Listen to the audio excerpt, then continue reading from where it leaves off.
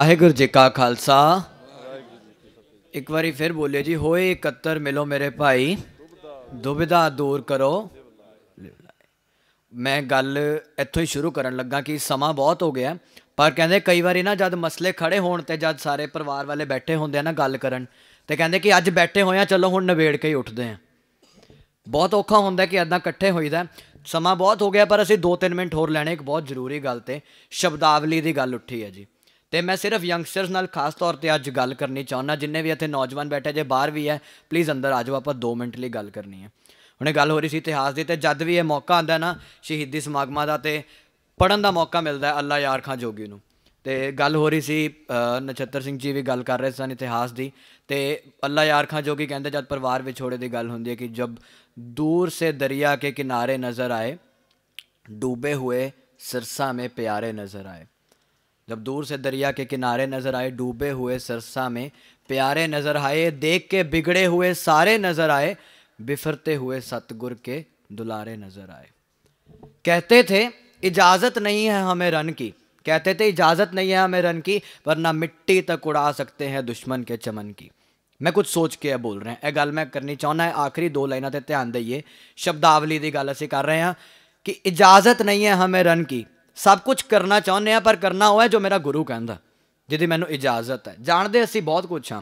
ਸੋ ਦੋ ਮੁੱਦੇ ਜਿਹੜੇ ਅੱਜ ਅੱਜ ਮੇਰੇ ਸਵੇਰੇ ਵੀ ਗੱਲ ਹੋ ਰਹੀ ਸੀ ਕਿ ਕਿਹੜੇ ਐਸੇ ਮੁੱਦੇ ਆ ਜਿਹੜੇ ਅੱਜ ਵੀ have to address the elephant in the room ਜਿਵੇਂ ਕਹਿੰਦੇ ਕਿ ਬਹੁਤ ਵੱਡੇ ਮੁੱਦੇ ਆ ਜਿਹੜੇ ਸਾਡੇ ਸਾਹਮਣੇ ਖੜੇ ਆ, ਜਿਹੜੇ ਗੱਲ ਕਰਨ ਦੀ ਲੋੜ ਆ।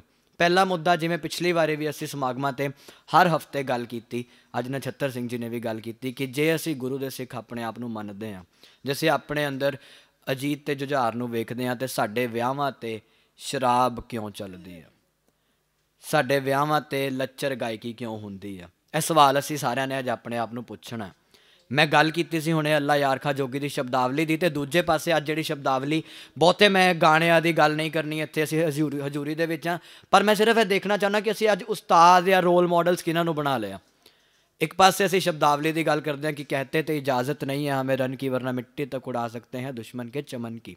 ਤੇ ਅੱਜ ਅਸੀਂ ਯੰਗਸਟਰਸ ਜਿਹੜੇ ਗਾਣੇ ਸੁਣ ਰਹੇ ਹਾਂ, ਅਸੀਂ ਕਹਿੰਦੇ ਹਾਂ ਕਿ ਤੂੰ ਗੱਲਾਂ ਕਰਦੀ, ਕਿਹੜੀਆਂ ਪਿੱਛੇ ਪੁਲਿਸ ਮਾਰਦੀ, ਗੇੜੀਆਂ, ਅਸੀਂ ਚੰਗੇ ਨਾ ਇਨਸਾਨ। ਅਸੀਂ ਦੇਖਣਾ ਕਿ ਅਸੀਂ ਕਿਹੜੀ ਚੀਜ਼ ਨੂੰ ਜ਼ਿਆਦਾ ਅੱਗੇ ਕਰ ਰਹੇ ਹਾਂ।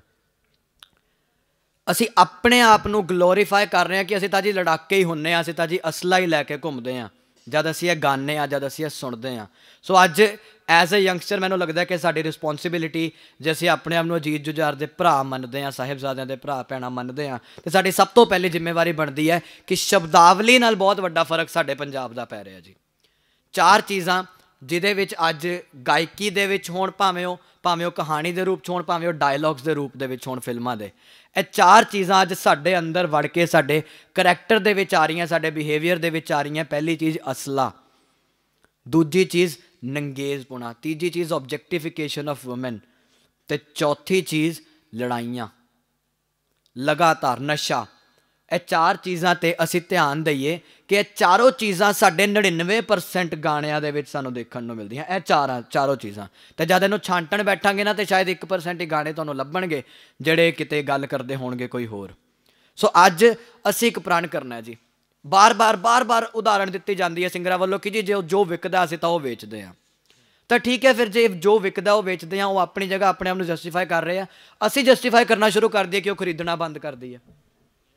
ਮਿਲੀਅਨਸ ਤੇ ਵਿਊਜ਼ ਅਸੀਂ ਹੀ ਦਿੰਨੇ ਆ ਨਾ ਜੀ ਦਿੰਨੇ ਆ ਸਾਰੇ ਯੰਗਸਟਰਸ ਆਪਣੀਆਂ ਗੱਡੀਆਂ ਦੇ ਵਿੱਚ ਬਹਿੰਦੇ ਆ ਸਨੈਪਚੈਟ ਇੰਸਟਾਗ੍ਰam ਤੇ ਸਾਡੇ ਸਾਰੇ ਸਕੂਲਾਂ ਕਾਲਜਾਂ ਦੇ ਫਰੈਂਡਸ ਆ ਸੋ ਇੱਕ ਨਾ ਬੜੀ ਪਿਆਰੀ ਗੱਲ ਇੱਥੇ ਸਟੇਜ ਤੋਂ ਹੋਈ ਸੀ ਕਿ ਬਿਨਾ 뮤직 ਤੋਂ ਇੱਕ ਵਾਰੀ ਉਸ ਲਿਰਿਕਸ ਨੂੰ ਸੁਣ ਕੇ ਦੇਖਿਓ ਸਿਰਫ 뮤직 ਦੇ ਖਾਤਰ ਅਸੀਂ ਸੁਣਦੇ ਆ ਬਿਨਾ ਉਹ 뮤직 ਤੋਂ ਨਾ ਇੱਕ ਵਾਰੀ ਉਹਨਾਂ ਲਿਰਿਕਸ ਨੂੰ ਸੁਣ ਕੇ ਦੇਖੀਏ ਤੇ ਅੱਜ ਅਸੀਂ ਅੱਜ ਪ੍ਰਣ ਕਰਨਾ ਹੈ ਐਸ ਯੰਗਸਟਰਸ ਤੇ ਸਾਰੇ ਵੱਡਿਆਂ ਨੂੰ ਵੀ ਬੇਨਤੀ ਹੈ ਜੀ ਕਿ ਪਹਿਲੀ ਚੀਜ਼ ਵਿਆਹਾਂ ਤੇ ਸ਼ਰਾਬ ਜਿਹੜੀ ਹੈ ਆਪਣੇ ਤੋਂ ਦੂਰ ਕਰੀਏ ਅਸੀਂ ਗੁਰੂ ਦੇ ਸਿੱਖ ਨਹੀਂ ਆ ਜੇ ਅਸੀਂ ਉਹ ਕਰ ਰਹੇ ਹਾਂ ਤੇ ਦੂਜੀ ਚੀਜ਼ ਯੰਗਸਟਰਸ ਨਾਲ ਖਾਸ ਤੌਰ ਤੇ ਗੱਲ ਕਰ ਰਹੇ ਹਾਂ ਕਿ ਕਿਹਨੂੰ ਅਸੀਂ ਅੱਜ ਰੋਲ ਮਾਡਲ ਬਣਾ ਰਹੇ ਹਾਂ, ਉਹਨਾਂ ਨੂੰ ਸੁਣੀਏ ਇੱਕ ਵਾਰੀ ਦੁਬਾਰਾ ਵਿਚਾਰੋ ਤੇ ਆਓ ਸਾਰੇ ਮਿਲ ਕੇ ਪ੍ਰਣ ਕਰੀਏ ਐਜ਼ ਯੰਗਸਟਰਸ ਤੇ ਜੈਕਾਰੇ ਦੀ ਗੂੰਜ ਮੈਂ ਤੁਹਾਡੇ ਵੱਲੋਂ ਸੁਣਨਾ ਚਾਹੁੰਦਾ ਕਿ ਸਾਡੇ ਵੱਲੋਂ ਅਸੀਂ ਜਿੱਥੇ ਵੀ ਖੜੇ ਹੋਵਾਂਗੇ, ਅਸੀਂ ਆਪਣੇ ਫਰੈਂਡਸ ਨੂੰ ਵੀ ਅਵੇਅਰ ਕਰਾਂਗੇ ਕਿ ਅਸੀਂ ਸੁਣ ਕੀ ਰਹੇ ਹਾਂ।